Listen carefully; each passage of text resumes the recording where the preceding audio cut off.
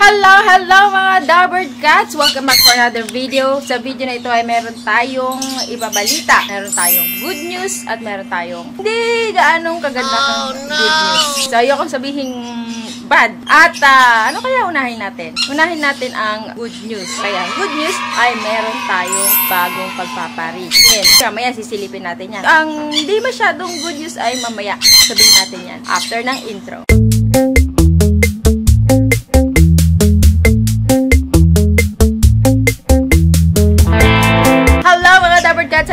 For another video. Gaya na sinabi ko ay meron tayong isi-share na good news at merong hindi gaanong good news ngayon sa video na ito, okay? Alamin niyo yan mamaya dahil baka maging good news yan para sa inyo mamaya. So muna unahin natin ang good news. Ang good news ay nakikita niyo ba yan? Nakikita niyo ba yung maitim na yan? Yan ang ating good news dahil meron tayong bagong pagpaparisin, bagong paprojectin.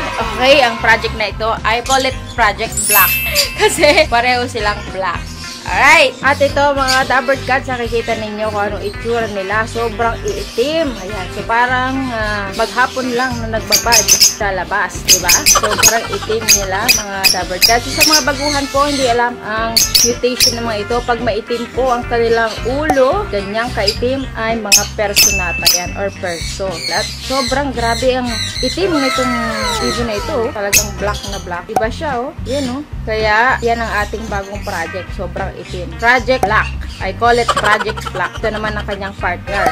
Alright? Another black. So excited ako kung sila ay mag-aanak. Baka naman ay ah, negrong-negro ang ilalabas. So ngayon, pag-uusapan natin ano nga ba ang mga gagawin ninyo kung kayo ay magpa-project ng ibon. Ano ang iyong i-expect? Gaano katagal ito? At ano ang iyong gagawin para maging successful at mas mabilis silang magpares at mag-breed. Okay? So yan ang ating pag-uusapan. Kaya tune in ka lang. And also, yung sinabi ko na hindi gaanong ah, good news ay i-share ko yan maya-maya. Hindi gaanong good news sa ngayon pero baka mamaya ay maging good news para sa inyo. ba? Umpisan muna natin ang kwento nitong ah, black ibon na ito. So, black personata. So, mature na itong mga ito. Matagal na ito sa ating ah, flight cage. At ngayon, napag-isipan natin na i-project. Project Black.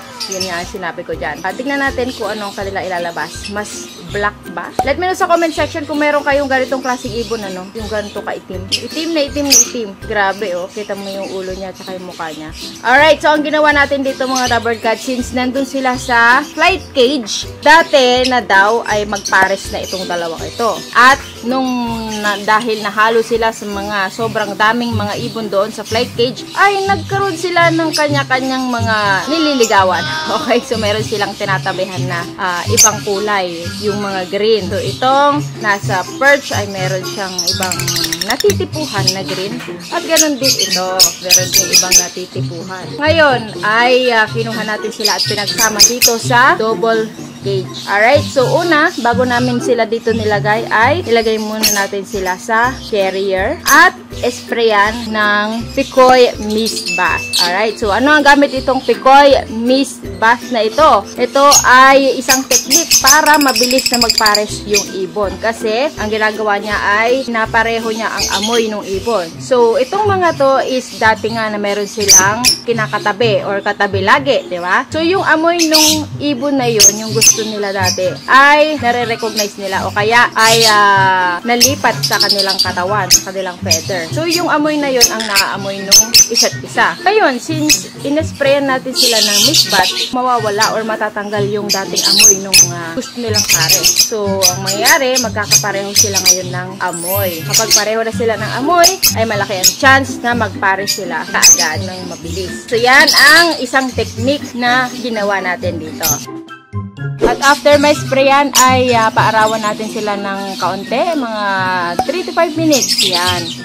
Ay okay na 'yon. Huwag niyo man huwag niyo namang iwan sila ng matagal, di ba? Sa bilad ng araw baka mamaya ay madedo yung mga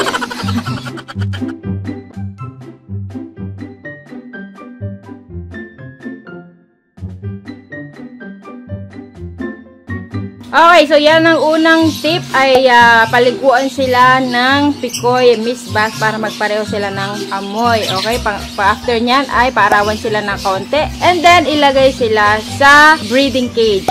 Okay, double cage. So, ayan ang ating first step. At number two step, pakalawang step ay bigyan mo na kaagad ng vertibird.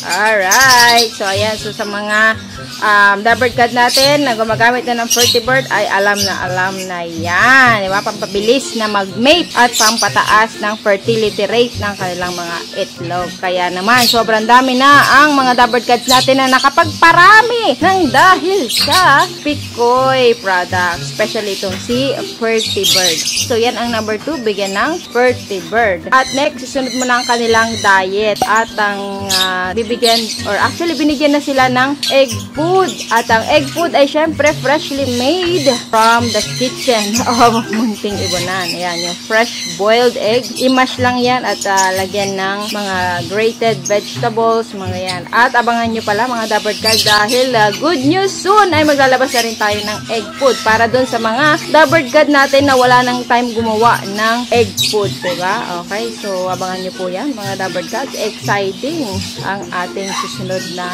product. So since ang dalawang ito mga Dabber Cats ay both na mature na, ay nilagyan na po natin sila ng nest box. So tuloy-tuloy na yan. Alright? Kasi kung kayo ay magpapares naman, take note ng mga bata pa, less than 8 months old.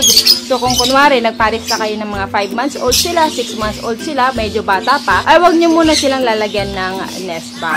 Okay? Kung meron namang nest box sa inyong cage, ay lagyan nyo na lang ng sapal. Tak takpan nyo yung butas ng tuwalya. Ganyan, para hindi pa sila makapasok doon sa nest box. Alright? So, since ang mga pares natin ngayon ay uh, matured na, both matured and ready na, ay nilagyan na natin sila ng nest box. Okay? At syempre, ang susunod na gagawin ninyo ay obserbahan nyo na lang po ang inyong mga pares. Kanina, na-obserbahan po natin ay medyo, yung lalaki ay medyo sumisilip-silip na po doon sa nest box. That is a good sign.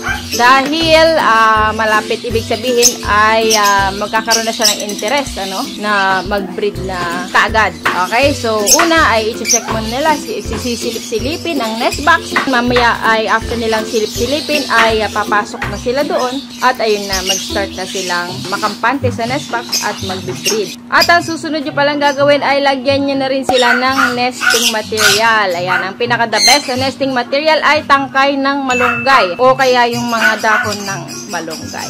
Okay, so ayan lang po ang ating mga tips. Ngayon, dumako na tayo mga Dabber Gods sa ating too good news. At ang not too good news mga Gods ay yung pinanggalingan po ng uh, ito, yung mga ibon natin dito sa cage na ito. Yung dating nakatira dito sa cage na yan ay nakawala. Uh-oh! At ito pa, masaklap. Yung ibon po natin yun ay hindi basta-basta because isa po siyang pale follow. So, nakawala po yung ating pale follow na dating nandito sa cage na ito. At lumipad siya papunta doon. Papunta sa sky. Ayan, doon. Okay, so kung kayo ay dito malapit sa amin taga Pangasinan. Ayan, abangan ninyo. Baka meron po kayong makita na pale follow na ibon. Ayan, meron po siyang singsing na pikoy. Let us know lang po sa aming Facebook page kung may makita po kayong pale follow na lumapit sa inyong ibonan. Okay, so ayan po ang ating hindi masyadong good news for today. Ayan, at uh, syempre,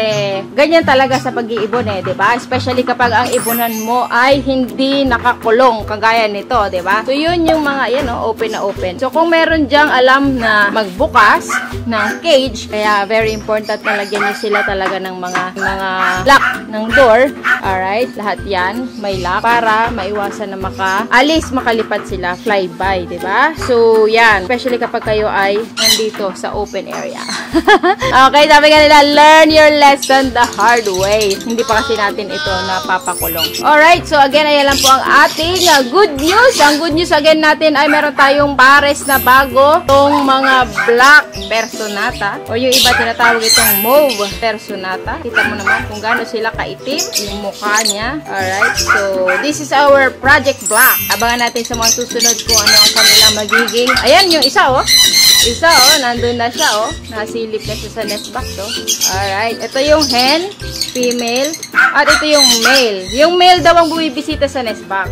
Ayan, nag nagtabi na sila. Ito yung male ang nag-check sa nest box kung okay na siya. Siya. I-check daw muna ng mail ang nest box. Pag okay yung nest papasok daw si Hen. So ngayon ay nagtabi na sila. Ayan! Ang galing. Alright! So that's a good sign mga Dabber Cats. Abangan natin sa mga susunod na araw. I-update po natin kayo sa ating project plan. Okay, so ayan lang po ang ating video. Bago tayo magtapos ay dumako na tayo sa ating mga shout out. At ito na po ang ating mga shout out for today. Hello, happy viewing and shout out kay Tess Nolasco, kay Victor Andal, kay Clark Fishing Ride, kay Sheila May Erlano, kay Hill Berrioso, kay Alvin King Fish Hunter, kay Jake Vergara, kay Ferdinand Peña, kay Eddie Alvarez Jr., kay uh, Michael Caranto, at kay Axie Trinity PH. At kung gusto mo rin ma-shoutout, dapat ka ay mag-comment ka lang din sa comment section. Alright, so ayan lang ang ating video for today. Maraming maraming salamat sa inyong panonood. Sa mga winners po ng ating nakaraang uh, anniversary, kung kayo ay isang mga winner doon, ay contact na lang po kami kung paano ito makiklaim yung mga prizes niya. Alright, so thank you so much for watching. I'll see you again next time. This is Mrs. Munting Ibunan nagsasabing, ang buhay ay parang ibon-ibon lang. I'll catch you again next time only here sa Munting Ibunan. flowers.